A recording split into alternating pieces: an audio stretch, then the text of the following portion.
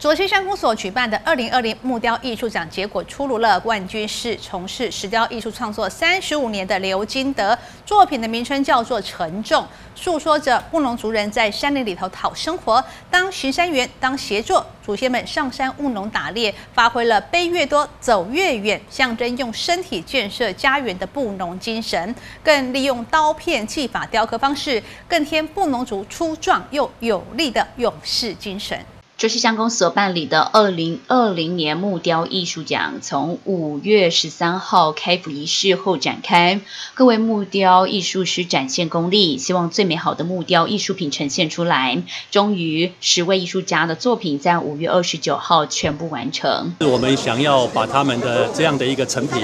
把它保留下来，因为卓溪乡现在叫做神音之乡，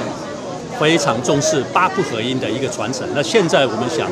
又要再增加一个叫做“神雕之江”这个创作的呢，都能够这个大作呢留下来，来呈现在我们左溪乡的各角落。经过了十五天的工作，十位的艺术家实践作品在二十九号登场，让来参加颁奖典礼的民众大饱眼福。总共有七位佳作，季军是古乐乐法之上，亚军是陈全荣，冠军是从事石雕艺术创作三十五年的刘金德。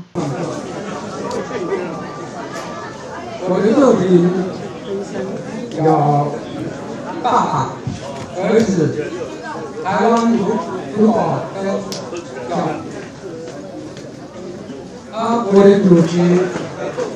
沉重跟干茉莉，这个象征的不同的往事。刘金德所创作作品名称是《沉重》，是说布农族人在山林里讨生活，当巡山员，当协作，祖先们制作背篓上山务农打猎，发挥背越多走越远，象征用身体建设家园的布农精神，更利用刀片技法雕刻方式，作品充满着布农族的淳朴以及真实。自然纯粹，线条简洁利落，流畅的片刻技法在木雕上独树一格。记者高双双，卓西乡采访报道。